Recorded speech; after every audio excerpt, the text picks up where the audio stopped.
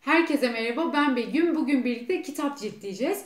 Aslında yapacağım işlem tam olarak kitap ciltleme işlemi değil. E, fakat yaptığım işlemin ne olduğu ile ilgili ben de kendi içimde tam bir karara varamadığım için aklıma farklı bir video başlığı gelmedi. E, şimdi kütüphaneden öğrendiğim bir yöntem bu. Ve size bugün bu videoda böyle bir kitap ciltleme işlemi gerçekleştirmeyeceğim. Yani bu tarz bir e, kapağın yapımından bahsetmeyeceğim. Çok daha pratik, sizin de evde uygulayabileceğiniz ve daha az maliyetli bir yöntemden bahsedeceğim. E, ben bu yöntemi kütüphaneden öğrendim. Kütüphaneden alıp eve getirdiğim kitapların yüzeyinde e, karton kapaklı kitapların yüzeyinde ek bir kat olduğunu fark ettim. Ve bunun ne olduğunu kütüphanecilere sorduğumda bana şöyle söylediler. E, devlet her yıl kütüphanecilere kitap gönderirken okuyucu taleplerine ya da kütüphanecilerin sipariş verdiği kitapları gönderirken onların yanında bir de şöyle bir malzeme gönderiyorlar. Ee, benim elimdeki malzeme 8 metre kadar ve ne kadar yeterse o kadar e, ciltleyeceğim kitaplarımı Yaşar Kemal'den, Dostoyevski'den, Maxim Gorki'den, Sabahattin Ali'den başlayarak sonrasında diğer klasiklerle devam ederek kitaplarımı ciltleyeceğim. Aynı zamanda bana şunu söylediler. Bu uygulama zorunlu bir uygulama değil. Yani devlet bunları kütüphanelere gönderiyor. Fakat kütüphaneciler bunu her kitaba uygulamak zorunda değiller. Çünkü binlerce kitapları var. Hangi birine yapsınlar? Fakat bizim kütüphane personellerimiz kitapların içeriği kadar onlara fiziksel olarak daha değer veriyorlar ve ne kadar az yıpranırsa o kadar iyi gözüyle bakıyorlar. E, ve bu uygulamaya başladıktan sonra kitapların daha az yıprandığını, daha az kitabın imhaya gönderildiğini, okuyucu elinde kitapların yıpranmadan e, kütüphaneye geri getirildiğini söylediler. Bu tam olarak benim istediğim şeydi. Yani kitapların yıpranmadan okunması e, zamana meydan okurcasına yıllar sonra kitapların okunur durumda olmasını istiyorum. E, o yüzden bu uygulamanın nasıl yapıldığını, malzemenin ne olduğunu, nereden temin edildiğini detaylarıyla öğrendikten sonra malzemeyi temin ettim ve tabii ki bunu sizinle de paylaşmak istedim. Kitapların ölçüsüne göre bu malzemeden kestim ben videoda zaman kaybetmemek adına. Şöyle şeffaf bir görüntüsü var ve bunun tek yüzeyi yapışkanlı. Yani şu yapışkanlı olan kısmı kitabın e, üzerine yapıştıracağım. E, burada dikkat edilmesi gereken birkaç nokta var sadece. E, bunlardan biri kitabın ön yüzeyini buraya yapıştırın. Çünkü hava kabarcığı kalmaması gerekiyor. E, dikkat edilmesi gereken en önemli nokta hava kabarcığını yok etmek. E, ve ilk yapıştırdığımız yüzeyde genelde hava kabarcığı kalmıyor. O yüzden ön yüzeyiyle yapıştırmaya başlıyorum. E, bunu bu şekilde yapıştırdıktan sonra e, bu kısmı kapatarak e, buna benzer sert bir malzeme kullanın. Benim önümde bu vardı şu anda. Hemen bunu aldım o yüzden. Ve kitabın bu kısmını bu şekilde hava kabarcıklarını yok etmek için bastırarak bu ciltleme işlemini gerçekleştiriyorum. Sonrasında yan taraflarına saracağım. Yine yapıştırarak hava kabarcığı kalmamasına dikkat ederek yapıyorum bu işlemi de. Sonrasında da arka yüzeyine geçiyorum. Bu şekilde yapıştırma işlemini gerçekleştirdim. Ön tarafına yaptığım şekilde yapıştırma işlemini yine buraya da yapıyorum. Ne kadar bastırırsanız ve ne kadar sert bir şey kullanırsanız o kadar hava kabarcığını yok etmiş oluyorsunuz. E, ve bu ürün e, kapakla birleşmiş oluyor. Yani ek bir malzeme olduğu ne kadar e, sert ve e, iyi yapıştırırsanız o kadar az belli oluyor.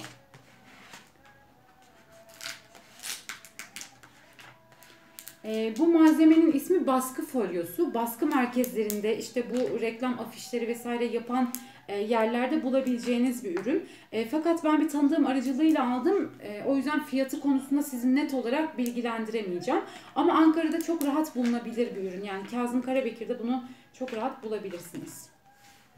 E, yapıştırma işlemi bittikten sonra sadece şu kenarda kalan fazlalıkları keseceğiz. Bunu şu şekilde şuradan bir alan açarak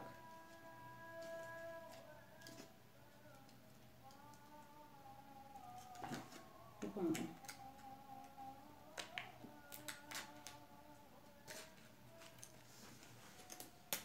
Ee, sadece şu kenarda kalan fazlalık kısımlarını kesiyoruz. E, ve bu kısımlar kesildikten sonra e, bu ürün kapakla birleşmiş oluyor ve dışarıdan bakıldığında herhangi bir fazlalık olarak algılanmıyor. Aynı şekilde yan taraflarını keseceğim şimdi. Bunu e, bu kesme işlemini sakın makasla yapmayın çünkü makas e, kapağın bittiği yerden itibaren kesmiyor. Yani orada bir e, fazlalık pay kalıyor. O da hem görüntü olarak çok çirkin oluyor hem de e, çok fazla uğraştırıyor sonrasında. Yani makasla e, dibinden kesmek çok mümkün değil. O yüzden mutlaka maket bıçağı kullanın bu aşamada.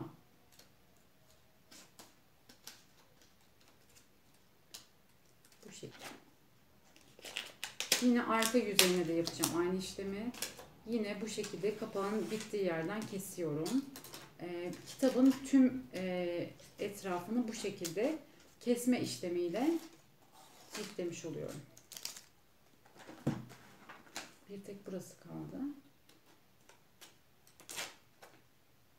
Burayı da kestikten sonra bitti. E, şu kenarda şöyle fazlalıklar kalıyor. Şu an siz net olarak görebiliyor musunuz bilmiyorum.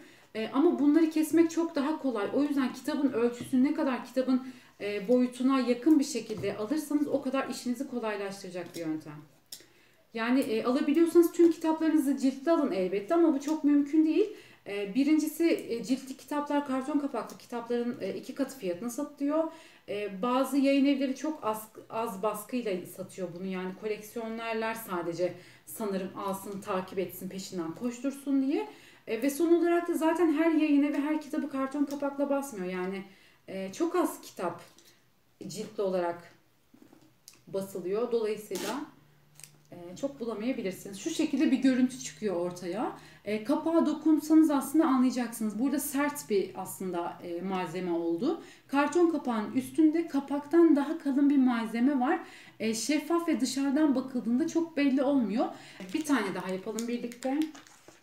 Aslında defter kaplar gibi yapıyorsunuz. Yani çok çok kolay bir yöntem.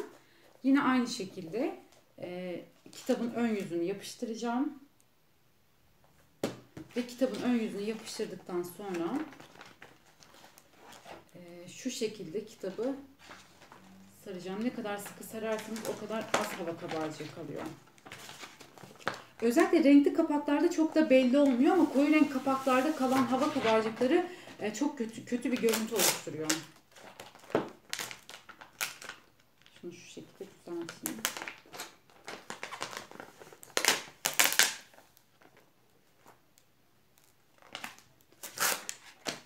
Ee, yine aynı şekilde bastırarak e, zeminle birleşmesini sağlıyorum malzemenin. Bu arada bu kitaplar artık silinebilir. Yani tozlandığı zaman kitabın e, tozunu nemli bir bezle çok rahat alabilirsiniz. Ben cam kapaklı kitaplık kullanıyorum bunlarla uğraşmamak için. E, size de aslında bunu tavsiye ederim.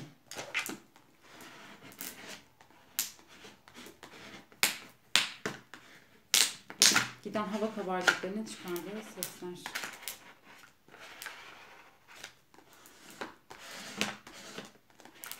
Ben bunları bastırmaya devam edeceğim. Şimdi videoda çok uzamasın diye biraz hızlı hızlı yapıyorum. E, aynı şekilde şu fazlalıkları şuradan keseceğim.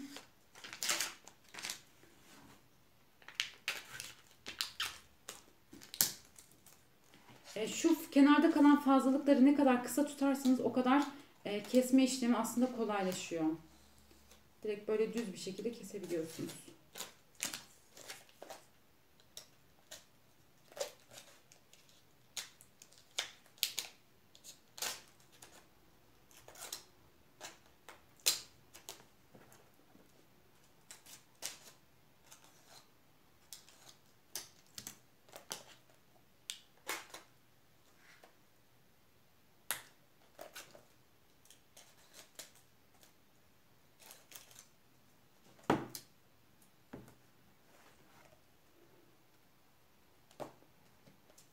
Ciltleme işlemini bitirdim ne kadar ciltlenirse ama e, çok e, bence mantıklı bir yöntem bu. E, defter kaplar gibi hemen oturup arka arkaya yapabilirsiniz.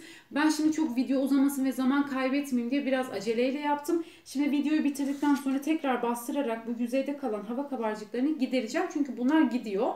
E, dün akşam yapmıştım birkaç tane. Şu an e, hiç onlarda hava kabarcığı kalmadı. Ee, umarım içinize sinen bir yöntem olur. Eğer denerseniz bunu lütfen bana haber verin. Ya da farklı bir metodunuz varsa benimle de paylaşın. Ee, malzemenin yetmediği noktada ben de aynı şekilde devam edeyim. Ee, umarım faydalı bir video olmuştur. Beni izlediğiniz için teşekkür ederim. Sonraki videolarda görüşmek üzere. Hoşçakalın.